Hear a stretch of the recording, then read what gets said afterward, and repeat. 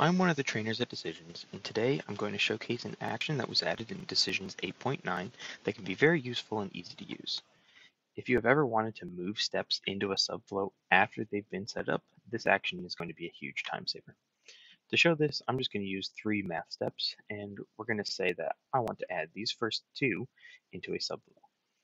Before 8.9, if I wanted to do this, I had to do one of two things either completely recreate all of these steps in my subflow, which is not an option if it's a large and complex use case. Otherwise, I would have to take these, highlight them and group them.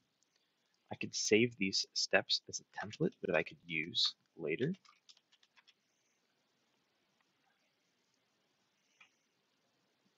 Then, when I create, once I create my subflow, I can do it here or from the folders.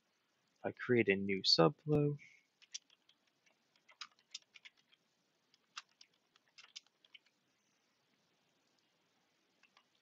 I can use that template to place these steps in my new subflow exactly as they were.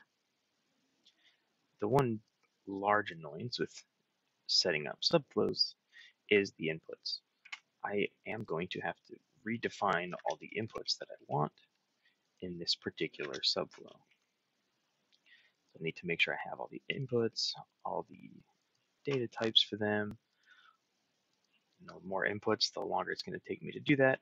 Make sure that these inputs are being passed in.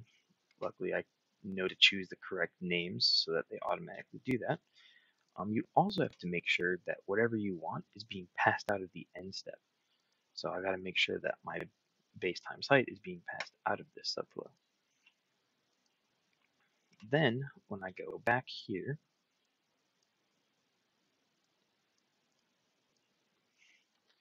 I can remove those steps because they're in my subflow now.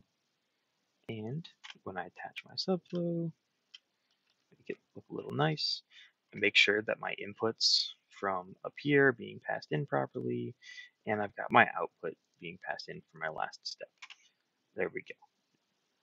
If the if the use case is a lot more complex, this will obviously take a lot longer.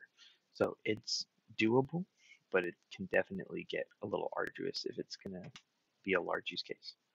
However, now that we are in 8.9, we have a new action. So let's say I do the same exact thing. I want to take these.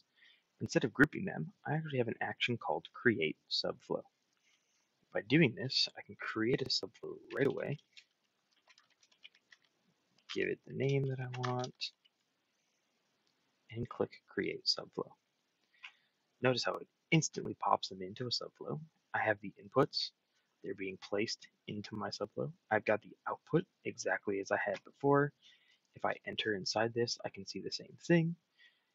Maybe you might want to clean it up a little bit, or maybe you may decide you need to add some things afterwards, or maybe change some of the outputs um, if you need. But for the most part, everything is done, snappy, easy, completely finished.